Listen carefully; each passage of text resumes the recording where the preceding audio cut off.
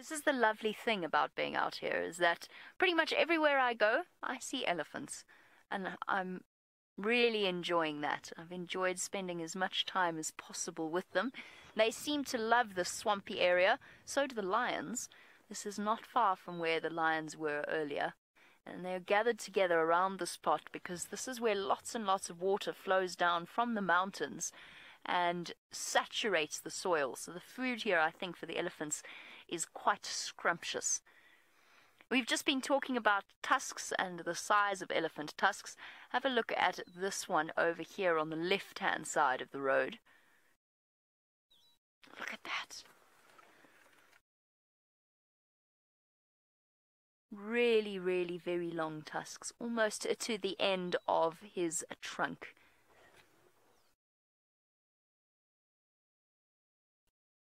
We've seen lots of these elephants recently. It really is quite special. There you can, you can actually see beautifully on this elephant which tusk is the dominant one and which is the slightly less used tusk. So much like human beings, elephants are at least partially left and right or right tusked in that they pref- often prefer to use one over the other.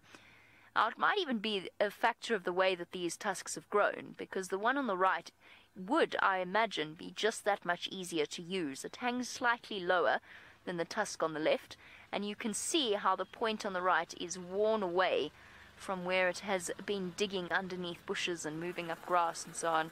Habari? Uh, this side of the lugga, but they disappeared. They went flat in the bush there. Yeah, not down, but just on this side. Maybe if you check along, maybe you get lucky they popped out. Cheers, guys. Sorry, just telling one of the other guides where the lions were. So yes, left and right tusks, sometimes very clear, also known as the slave and the master tusks. Which one is used more often? Where's that floppy-eared elephant gone? I'm sure I saw one with a very floppy ear. That's another thing that makes an elephant quite easily identifiable. They sometimes break the cartilage or damage the cartilage at the top of their ears, and as a result, they have a permanent floppy ear. I think it's that one, Sens. Mm, maybe not. Where did you go? And lo- another lovely question coming through from Ashes. My goodness, you're on form this morning. You want to know how do elephants sleep? Ashes, the answer is actually very little, according to a very conclusive study that was carried out into elephant sleeping patterns. Once an adult elephant has reached sexual maturity, once they're fully mature and they're adults, they will sleep according to their brain waves, a study done on their brain waves, and the movement of their trunks, around about actually entering deep sleep only every couple of days. However, when they do sleep or when they do doze, they usually do it standing up, but they can lie down as well. So it's a fallacy that an adult elephant can't lie down and then get back up again. That's not true. An adult elephant absolutely can lie down and stand back up again. They just don't lie down for long periods of time. Often they'll find themselves a termite mound or a tree and go and lean up against that and use that basically to support their weight while they doze. Baby elephants, on the other hand, they sleep far more often. So, especially the young, young elephants under around about two years old, they will have regular nap times. And that's another one of my favorite things to watch because the whole herd patiently surrounds a sleeping group of youngsters, leaves them to doze, and basically forms a protective circle around them and watches them while they sleep. The other fun thing to see, and it's something that we've seen on our live safaris often, is when it's time for the adults to wake the babies up because the little ones actually have often have tantrums. And the adults will sort of walk up to them and touch them gently with their trunk, and if there's still no response, then they'll actually kick them gently, try and force them to their feet, and the baby elephants don't really appreciate that. Quite entertaining, just like a toddler being woken woken from a nap. Buddy. Some Ranjit? Sorry, hold on one second. It's Zulu. The they went onto the side of the lugga, this side, but they went flat down in the bushes. I don't know where exactly. Senzo, everybody sees Senzo and thinks he speaks Swahili, and he spends his life going, "I'm sorry, I'm sorry, I don't understand." It won't take long for us to catch on with the language, but it seems to happen to Senzo at least four times a day. sorry, Kirsty, what was the question?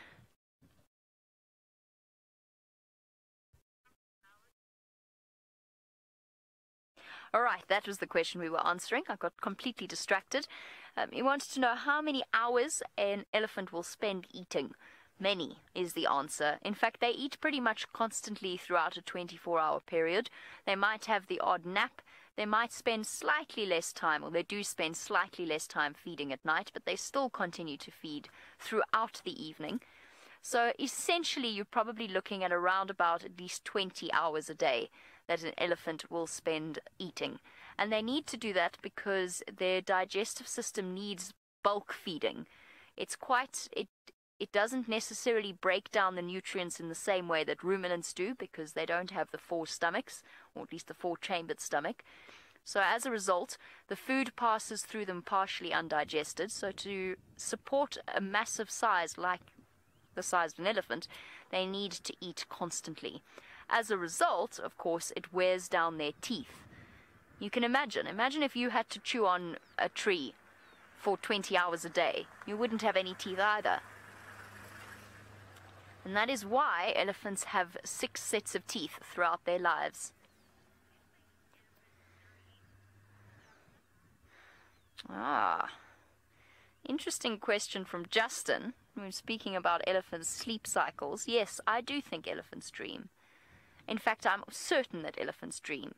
Uh, just like your dogs and cats at home, I'm sure you've seen them when they're chasing something in their dreams and their paws are twitching and their tails twitching, and sometimes you might even see their lips sort of curling up in excitement.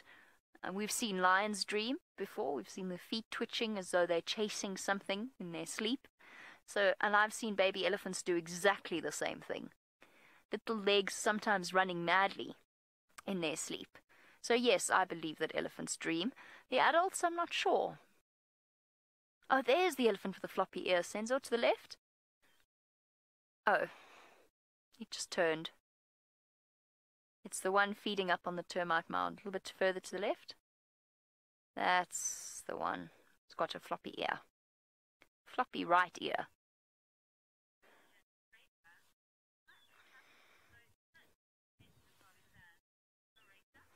What do you think, everyone? Do you think elephants dream? I'm certain that they do.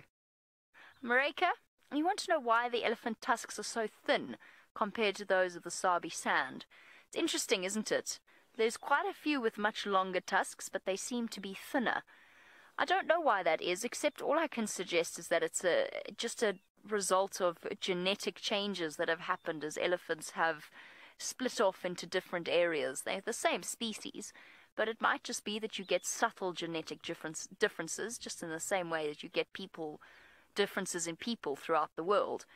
You might find that for some reason thinner tusks, thinner, longer tusks have been favored here, perhaps because they're, I don't know, maybe they spend more time digging, reaching down to the ground.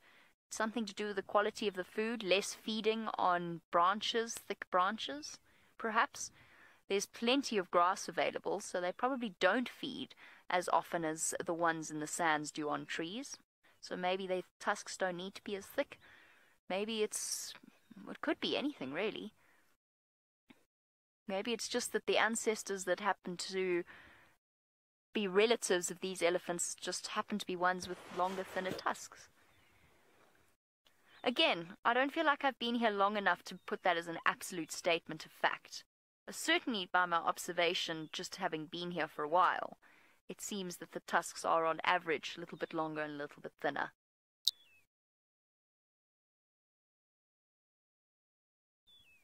Of course, there is the, you have to consider the potential of human impact as well. But that's not quite the case here, I don't think. I don't think there's a reason why potential poaching issues in the past might have caused a situation with thinner tusks. Certainly less tusks. And we know in parts of Africa, not here and not in South Africa, but we know that in parts of Africa, the poaching problem for elephant ivory has essentially artificially created a situation where elephants, more and more elephants are being born without tusks because elephants that are born naturally without tusks are the ones that are surviving and therefore the ones that are reproducing. And as a result, it means that they're basically favoring the elephants without tusks. But I don't think that's the case here. I don't think that this is the result of human influence. Oh, Jack, we've already spoken about the situations where giraffe might fight. I wouldn't say that bull elephants fight a lot. In fact, to see a proper fight between two bull elephants is actually relatively rare, and it will only happen again where you've got two equally sized males competing for one female. You'll often see elephants sparring. That's a different story. That's not really fighting, that's play fighting. That's practicing their fighting skills with each other. And I, occasionally it gets a little bit over enthusiastic and an elephant gets hurt and gets a little bit annoyed, but it's not really aggressive fighting. You don't often see clashes between two big bulls. Most of the time, any conflict is resolved by common sense. So, if you've got a situation with one ma- uh, with two males and a female, the biggest male will often just be able to sort of reserve his right to mate with her just by sheer size and intimidation factor alone. He won't need to fight unless his opponent is an equal of an equal size. So I would say that serious fights are quite rare. Would be it is not would be, it is something extraordinary to witness, and it would be something that I would love to show you on these live safaris. Oh, Senzo, back to the termite mound? Oh, floppy ear. Every time I try to show you to the world, you turn your head. Shame, perhaps he's a little bit shy about his floppy ear. Don't worry, makes you special. Completely unique. Come on.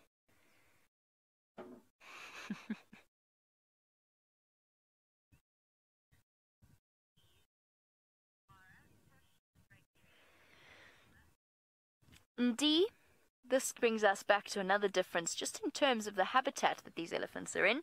No, I don't think that the elephants do push down trees as often as they do in South Africa. That doesn't mean that they don't do it here. It doesn't mean that they don't push trees over. But for the most part, they don't need to as often as our elephants do in South Africa and especially in the low veldt. And that's because the wet season, there's just much more rain here. So the grasses and the different soil types mean that the grasses are of a better quality all year round. So there's far more for an elephant to feed on. Now, they don't need to be as preoccupied as ours do during the dry season, the South African ones do during the dry season, with feeding on trees. So I haven't seen it all that often. Does does happen, but not as often. Perhaps things change when the wildebeest get here, and the elephants move further up into the mountainous areas. Perhaps they spend more time feeding on the trees there.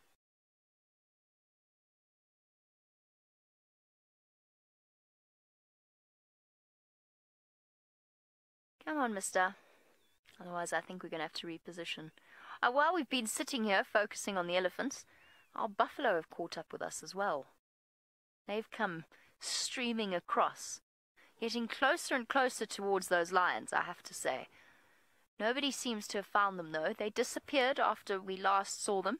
They've disappeared into the long grass, but they're not far from here. They're definitely